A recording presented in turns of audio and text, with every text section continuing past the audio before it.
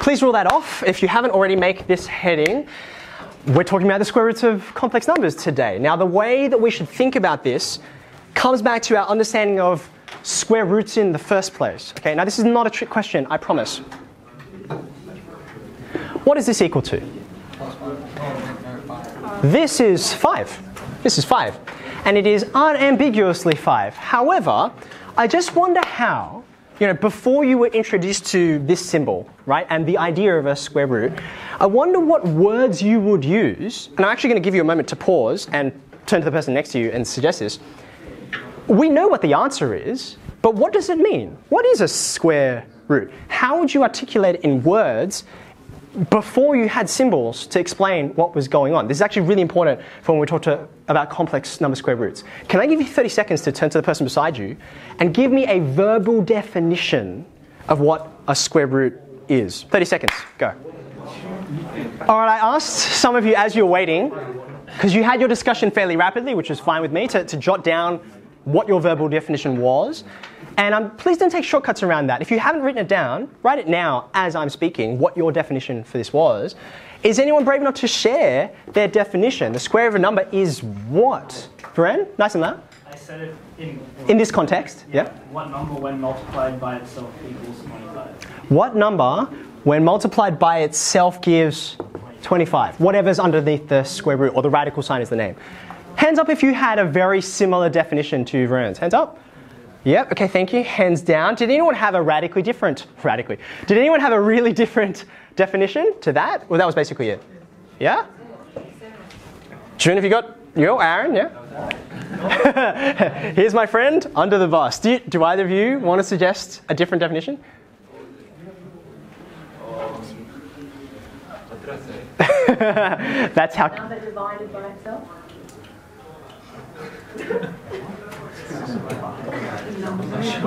Can I, can I just point out, by the way, this, this moment where we're kind of thinking about something that we feel like we know, but trying to think about how do we articulate it, this is exactly what the work of a mathematician looks like. To be able to take something like, like we were talking before about this guy, right? This is where this whole journey began. And our willingness to take this weird object and think about a really careful definition for us has just opened up a world to us, okay?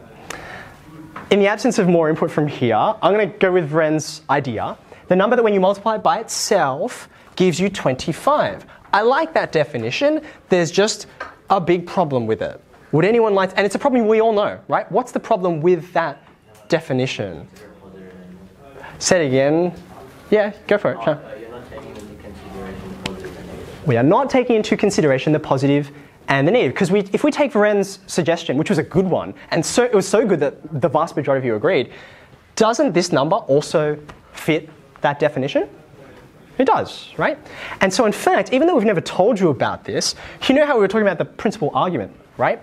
What you have been working with, what you've been calling the square root, actually is not the square root. It has been, all this time, called the principal square root. We just never told you about it because you never knew there was anything else, right? We just said, hey, this thing, forget about it, right? Forget about it. Because where did we first meet the square roots of any numbers? What, what topic were we in when we first needed to actually use these things?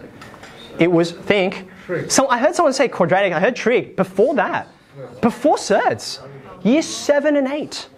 Think, end of year seven, beginning of year eight. It was, say it again, Jia. Pythagoras. Pythagoras. It was right angled triangles right? Ah, now, get this. Anger, can you say that again, just a bit louder? It couldn't have been negative anyway. It couldn't have been negative because it's a length. It's a length. I'm measuring something. It's going to be positive. So we just said, forget about it, right? However, it really is just saying one of them is more useful to us than the other one, right? And it's inconvenient to think about it, so we just forgot about it for a little while. But when we come into this world of complex numbers, right, there no longer is an argument like this. There no longer is an argument to say, oh, clearly one is better than the other, which is why in your title you wrote square roots plural. So what we're going to do is have a look at a number, a complex number, and think about how would we even go about arriving at the answers to this question. Answers plural, that's really important. Now, like I said, I need a bit more space. Um, we're going to go with Varen's definition was so good you all agree with it, I think it's a really good start. We're trying to think of a number, numbers, that when you multiply it by themselves, by yeah, by themselves, you're going to arrive there. Does that make sense? There's some number. Let's give it a name, shall we? Um, did I call this? No, I didn't call anything. Um, let some complex number, like say z, because we're so original, right? Let z, when you square it, so that's z squared, let it equal that. That's what we want. Whatever that z is, it should work, right? So what, what have I got? Minus 2 plus 2 root 3 i. Okay. And this is a really cool moment because we have spent the better part of a month and a bit developing for you multiple ways of thinking about this. I said Z, but I didn't tell you what form Z was in. And you have three options, right? Would anyone like to suggest what might be the most natural form to start in for this question as pose? What do you think, Jiayu? Um, exponential form. I really love, if you were thinking of exponential form, right? I, I, think there's a really good argument to be made for that. Let's have a think about this. We're raising something to an exponent. We've seen the whole point of exponential form is you're naturally talking this language, right? Now we are going to go there. I'm going to suggest, though, there's another piece of evidence in the question that might suggest another form might be equally useful. Any takers? I mean, you've only got two other options now. it's 50 50. Come on. Who's a betting person, right? Now, mod arg form is another form that, when you think about it, right? We introduced mod arg form to think about the angle of where things are going, right? Think about the starter questions that you did today, okay? You squared a number, remember that? And you think about where it is based on its modulus and its argument.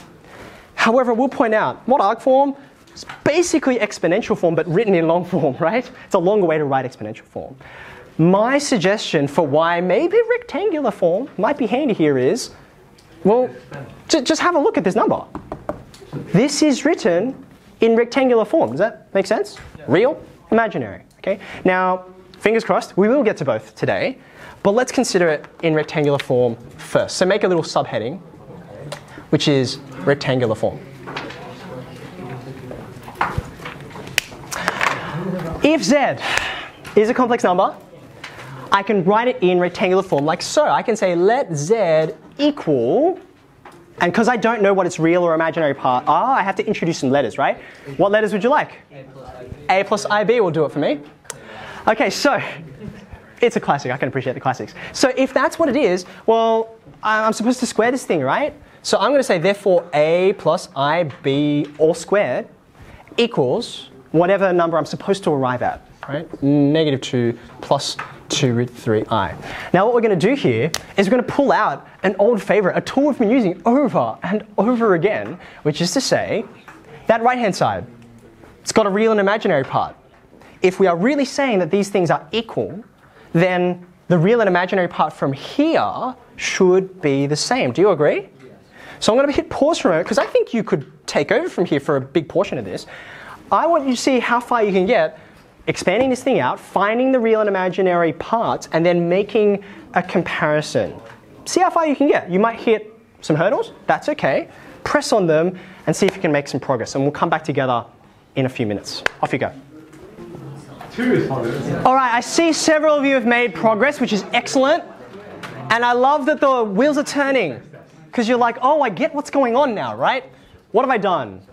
I have just expanded here right? Um, just expanded everything out. I've noticed an i squared, so I have done a uh, substitution there for negative 1, and notice that, oh, those are the real parts. a squared minus b squared.